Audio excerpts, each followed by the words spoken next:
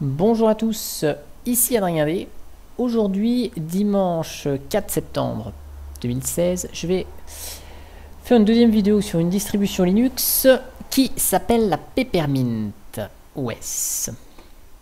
Donc la Peppermint OS, c'est quoi? C'est une distribution qui est basée sur euh, l'Ubuntu, enfin normalement, euh, qui a pour but en fait d'être euh, rapide et facile d'utilisation et surtout euh, compatible sur des PC ayant des petites configurations. En fait, j'ai trouvé cette distribution Linux là en cherchant une distribution légère à mettre sur un vieux PC à recycler, mais qui soit un peu plus agréable à utiliser que l'Ubuntu. Et si ça pouvait être plus léger que Xubuntu ou d'autres euh, distributions XFCE ou Mate, je me suis dit tiens, on va essayer de, de regarder ce que propose Peppermint. Donc, ici, je lance la machine virtuelle. Alors, par contre, ce qu'on va faire, c'est qu'on va peut-être mettre le CD dedans, hein, ce serait pas mal, voilà. Et on va installer la Peppermint OS. Donc rassurez-vous, la vidéo sera pas très très longue puisque je vais couper la partie où ça s'installe. Donc la Peppermint OS, dont euh, je vous mettrai peut-être le lien du site officiel, quoique il suffit de taper Peppermint dans le moteur de recherche de votre choix. C'est une distribution soi-disant légère, basée sur l'Ubuntu, comme j'ai dit. Et elle s'installe avec l'outil d'installation d'Ubuntu, que vous voyez ici. Donc on va voir si ça plante à la fin en faisant une install en français ou non, comme certaines autres distributions. Donc là, hop, on fait une install classique. Je ne fais pas une mise à jour pendant l'install. Comme ça, on verra comment ça se comporte euh, au niveau des mises à jour. Donc là, je vais effacer le disque. Vous voyez que j'ai déjà fait un test juste avant d'enregistrer la vidéo. Il nous fait une grande partition avec tout dedans. Paris. Le clavier français. Je mets mon nom. Voilà. Hop, Peppermint. Donc ça contient le mot mint, mais ça n'a strictement rien à voir avec... Euh, ça n'a rien à voir avec Linux Mint. Voilà. Et donc, l'installation est partie. Et moi, ce que je fais, je coupe euh, la vidéo ici. Enfin, je mets en pause la vidéo. Et du coup, quand euh, vous allez voir, la suite va être collée juste après. Donc, dans une seconde, vous avez la suite de la vidéo. Voilà. Donc on arrive à la fin de l'installation de la Peppermint OS 7. Donc j'ai dit tout à l'heure que c'était basé sur l'Ubuntu. Mais en fait on va voir que c'est un espèce de LXDE bizarre parce qu'on a un panneau euh, XFCE, enfin vous verrez bien. C'est assez mélangé au niveau des logiciels et en fait c'est euh, entre guillemets leur politique chez Peppermint, c'est que ils veulent prendre enfin ils veulent avoir un choix des meilleurs composants provenant d'autres environnements de bureau, hein, où que ce soit, et les intégrer dans un ensemble qui soit plutôt cohérent pour créer leur propre logiciel. C'est ça qui fait la force et la spécificité de Peppermint OS 7, qui est quand même sorti au mois de juin 2016, je tiens à le rappeler. Donc le tout est personnalisable et léger, on va constater ça après le redémarrage de la distribution. Donc vous voyez ici, euh, juste avant que l'installateur se termine, on a des écrans qui présentent la distribution Linux avec euh, des images, des petites choses comme ça. Bon, c'est dommage, c'était pas en français. Maintenant que la distribution s'est installée avec succès, au bout de 5 petites minutes, on va la redémarrer. Le logo de la Peppermint OS me fait penser un peu au logo de de la société là dans Resident Evil. je sais plus le nom là. Je, me rappelle plus. la société de Resident Evil. Avec l'espèce de parapluie. Umbrella, voilà. Umbrella Corporation. Le logo. Ça fait penser un peu à ça. Peut-être que les créateurs de Peppermint étaient fans de cette enfin cette série, de cette euh, série de films, ouais, Resident Evil. Donc voilà, on voit ici que la session c'est Peppermint. Le fond d'écran de l'outil de, de, connexion est sympa. C'est reposant, c'est pas euh, des couleurs euh, brutes qui, qui, font mal aux yeux comme on voit certaines distributions Linux. Et donc là, on arrive sur le bureau. Donc on voit ici qu'il s'agit d'un XFCE 4, 4.12. Donc c'est pour ça que je disais que c'était assez curieux que euh, la distribution Peppermint OS se soit dite basée sur LXDE parce qu'on a quand même un panel XFCE 4 et on a le menu Whisker. On a le menu Whisker donc de XFCE. Donc par rapport à la à l'espace occupé, côté mémoire, on utilise 256 MB de RAM une fois le tout lancé, donc c'est quand même pas extraordinaire. Hein. 256 MB de RAM, on est pas mal. Sur le disque dur, on a 3,3 Go d'utilisé. Donc c'est correct aussi. Et donc bien sûr, on a un processeur qui n'est pas beaucoup, voire pas du tout utilisé. Donc, qu'est-ce qu'il y a de beau dans cette distribution? Parce que c'est bien de dire que c'est léger, mais on a quoi? Au niveau des accessoires, on a les outils classiques, calculettes, fichiers. Donc le gestionnaire de fichiers, on va regarder tout de suite, mais il n'a pas une tronche de tunard. Hein. Et oui, c'est Nemo, c'est le gestionnaire de fichiers de Cinnamon. Donc on voit ici que on a un ensemble XFCE 4 au niveau des panneaux, mais on a le gestionnaire de fichiers Nemo entre nous, on va quand même le dire, il est quand même plus complet que Tunar hein, par rapport au support euh, du réseau. Euh, voilà, on a quand même des, favoris ici. Euh, on a des vignettes. Enfin, je, le trouve plus complet que Tunar qui est quand même minimaliste. Mais bon, XFCE, c'est un, environnement de bureau très léger, donc forcément, il y a des fonctionnalités en moins. J'entends déjà les pros XFCE me gueuler dessus, mais c'est pas bien grave. J'assume ce que je dis. Par rapport aux traductions, on est parfait. Le jeu d'icônes est, sympa. On a un thème dark, comme on dit, hein, un thème sombre, mais euh, c'est sympa. Les icônes sont cool, j'aime ça. C'est assez sympa. Voilà, donc on a le lanceur de programme, on a Pluma, hein, l'éditeur de, texte de, de Maté. voyez? Donc, on voit bien qu'on a un ensemble hétérogène, c'est-à-dire l'éditeur de texte de Maté, euh, le gestionnaire de fichiers de Cinnamon, un panneau XFCE4, mais vous voyez que niveau euh, comment dire niveau homogénéité, on n'a pas l'impression d'avoir des composants de plein d'environnements de bureaux différents. Dans la suite bureautique, donc on n'a pas LibreOffice, on a ça, c'est-à-dire on a l'accès à Gmail, au calendrier Google, Google Drive, qu'on n'a pas LibreOffice d'installer, on va voir si on peut l'installer. Dans la partie graphisme, on a une visionneuse d'images, un visionneur de documents, Simple Scan pour numériser. On n'a pas GIMP, on a un éditeur ici. Donc j'ai l'impression qu'il y a pas mal d'applications qui sont euh, web. D'où le fait que la distribution se vante d'être légère. Puisque là, c'est un éditeur. Vous voyez, là, c'est bien Firefox qui est lancé. Hein. donc c'est un éditeur de... C'est un éditeur de, photos. Hein retouche de photos en ligne. Bon, alors côté euh, vie privée, c'est peut-être pas le top, mais côté euh, légèreté, ça l'est.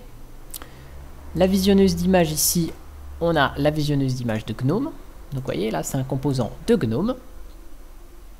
Et la visionneur de documents, c'est celle de GNOME aussi. Donc côté internet, on a Dropbox, si on utilise le service Dropbox. On a un client BitTorrent. On a Firefox. Euh, Ice, je ne sais pas ce que c'est. Donc si vous savez, je prends. Je ne sais pas ce que c'est.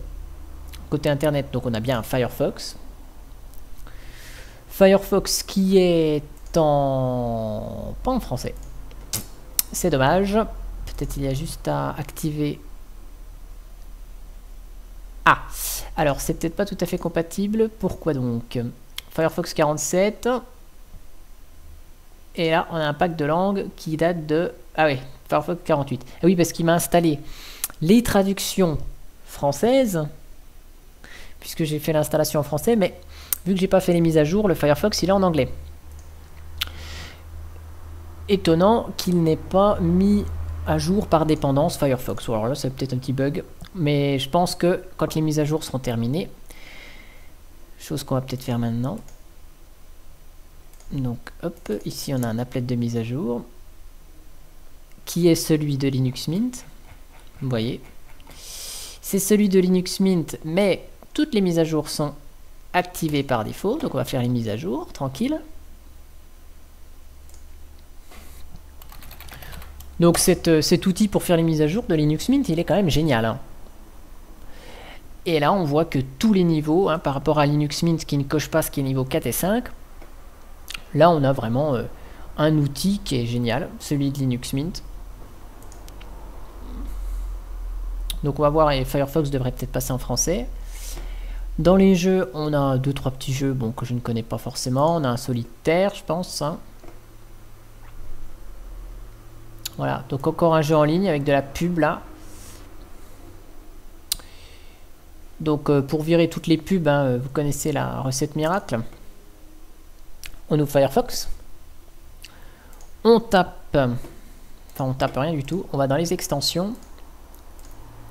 On tape uBlock, origine. On va installer uBlock origine, voilà. Tac, et donc maintenant peut-être que dans nos jeux, ici, tac tac, on va peut-être plus avoir la pub. Voilà. Ah si, elle est toujours là. Bizarre. Que Firefox utilisait un peu bizarre à mon avis, mais... voilà, on a pas mal d'applications web. Hein. Bureautique, on a des Google Drive, on a la bureautique Google. Donc tout ça c'est léger, forcément ça prend pas beaucoup de mémoire. Dans les outils système, on a des créateurs de clés USB, on a l'éditeur Dconf, on peut formater ses clés USB. On a le gestionnaire de logiciels. Alors on va jeter un petit coup d'œil, mais s'ils ont repris les bonnes idées, je pense que c'est celui de Mint. On va peut-être euh, crier le gestionnaire parce qu'on fait les mises à jour, je sais pas. Voilà, c'est la Logitech de Mint. On a un gestionnaire des tâches. Donc le gestionnaire des tâches, c'est celui de, de, de, de LXDE. Voilà. C'est le gestionnaire des tâches de l'XDE, qui est quand même beaucoup plus lisible que celui de XFCE pour le coup. Parce que XFCE, on a le pourcentage de mémoire et pas la quantité de mémoire utilisée. On a la gestion des imprimantes opérationnelles, donc Cubes doit être par là. On a Samba pour accéder à des dossiers réseau. ok. Et au niveau du son et de la vidéo, on a VLC pour lire de la musique et des vidéos. Donc c'est dommage, on n'a pas de lecteur multimédia pour gérer toute sa musicothèque. On va voir comment on va, on va installer un petit peu ce qui nous manque. Et dans les préférences, on a tout ça, donc configuration du pare-feu, et on a les outils ici qui doivent être euh, XFCE, enfin non, les outils XFCE ne sont même pas là. Paramétrage de l'écran, euh, non, c'est des petits outils indépendants. Et le, panneau de contrôle, en fait, c'est le Peppermint Setting Panel. Donc c'est le panneau de configuration de Peppermint sur lequel on peut personnaliser l'apparence. Donc là, on voit bien que c'est l'outil de LXDE. Donc quand même derrière, on a des apparences LXDE hein, qui sont dans le coin. Donc on peut mettre le thème clair, le thème rose, donc le thème par défaut, le thème rose, le thème rouge, le thème foncé, on peut modifier les couleurs. Donc les icônes, ce sont Peppermint Mix. Donc une euh, un développement personnel de la distribution. Curseur de souris DMZ. Les préférences du tableau de bord. Donc là, ça lance l'outil de XFCE. Du tableau de bord. Peppermint Control Center. Ici, ça permet de gérer les thèmes de fenêtres. Voilà. Ici, les contours de fenêtre. Donc là, c'est l'outil de XFCE. Hein, on a les thèmes de LXDE. avec le gestionnaire de fenêtres de XFCE. On peut bien sûr modifier les fonds d'écran. Vous voyez tous les thèmes qui, enfin tous les fonds d'écran disponibles. Ils sont, pas mal. Ils sont, franchement, ils sont beaux. Je les trouve beaux par rapport au travail que font certaines distributions. Là, c'est vraiment le top. Il y a vraiment des, chouettes trucs là. Je, j'avoue que il y a du beau boulot. Un outil pour euh, la prise en charge des langues. Donc là, c'est l'outil euh, de Ubuntu qui se lance. En fait, tous ces petits outils qui sont vraiment très hétérogènes sont regroupés dans un même panneau. Voilà. On peut bien sûr personnaliser le thème de Firefox directement là. On a la possibilité de gérer sans matos, les imprimantes, donc là ça va lancer je pense le petit outil CUPS, voilà. Le moniteur, enfin l'écran, euh, les pilotes, euh, le réseau, le système, voilà. Donc c'est un petit euh, centre de contrôle version Peppermint. Enfin, faut dire, c'est assez sympa. Ils ont, en gros, pour résumer la distribution, c'est je pique les bons logiciels par-ci par-là de tout le monde, je les mets dans ma distribution, je l'appelle ma distribution Peppermint, et voilà, je la donne aux gens. Le concept est pas mal, j'adore. En plus, tout est bien incorporé. Après, bon, la Logitech par défaut, il manque des outils, mais la distribution Peppermint vise à être légère. Donc c'est normal qu'ils fournissent des trucs légers. Donc en bureautique, on n'a pas LibreOffice, mais nous mettent Google Drive, comme ça, on a besoin que d'un seul navigateur web. Donc euh, pour le coup, c'est léger. Hein. Mais on peut, j'imagine bien sûr, installer LibreOffice ou euh, ce qu'on veut. Hein. On va essayer d'installer LibreOffice et euh, comment il s'appelle Clémentine pour gérer de la musique par exemple. Et on va voir ce que ça donne. Donc là pour éviter de poireauter trop longtemps, je vais à nouveau couper la vidéo en attendant que les, les logiciels soient installés. Puis on va voir ensemble la suite. Voilà, donc du coup, les mises à jour sont terminées. Donc je vous montre au passage qu'une fois que Firefox est mis à jour et que les extensions sont dans la même langue que Firefox, on va arriver à quelque chose de traduit en français. Voilà. Donc cette fois-ci, on a le Firefox traduit en français, puisqu'on a Firefox 48, plus évidemment le module de langue qui est en version 48, et cette fois-ci, il fonctionne. Il n'est pas compatible.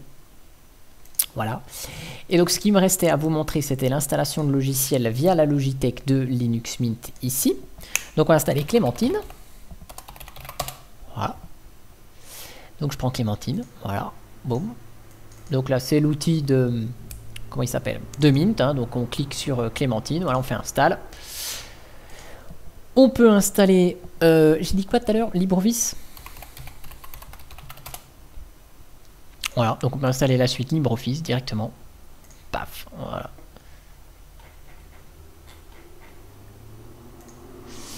Alors je ne sais pas s'il va installer par dépendance LibreOffice Writer, donc je vais les installer tous à la main. Writer, Calc et puis Impress. Hein. ce sont vraiment les trois que je vais utiliser. Et donc là on voit bien que les paquets se mettent les uns à la suite des autres et sont prêts à être installés. J'en profitais pour jeter un œil parce que je viens d'y penser à l'instant au niveau des sources de mise à jour. On va voir quelles sont les sources. Donc là, on voit en gros qu'est-ce qui se passe. On a les sources traditionnelles de Ubuntu et on a un seul PPA, un dépôt additionnel, qui est celui de la Peppermint OS, dans lesquels il y a sans doute les fonds d'écran, les thèmes et tout ça. Mais on n'a pas 75 000 PPA dans la liste, hein. on n'en a qu'un seul, c'est celui de la Peppermint OS. Sinon après on n'a pas... Euh, enfin je veux dire c'est plutôt une distribution qui est visiblement clean ici. Hein. On n'a pas de, de superflu ou de choses comme ça. Et donc là, maintenant que Clémentine est installée, on le voit, il est ici. Donc suspense, voilà. Le thème QT4, c'est exactement le même. Il s'intègre bien dans le système.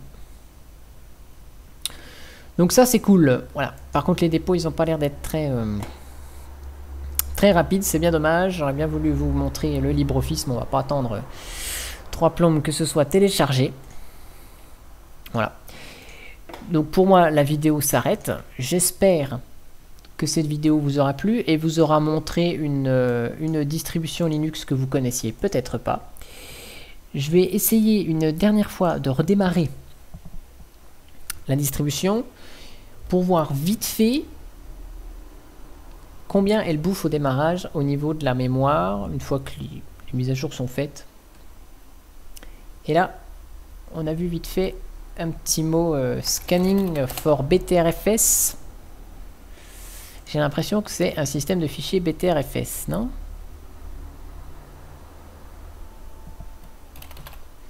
Donc c'était gestionnaire des tâches, voilà. Donc moins de 300 mégas au démarrage. Et je voudrais voir un truc là. fdisk-l. Parce que j'ai l'impression que c'était marqué euh, BTRFS là. Non.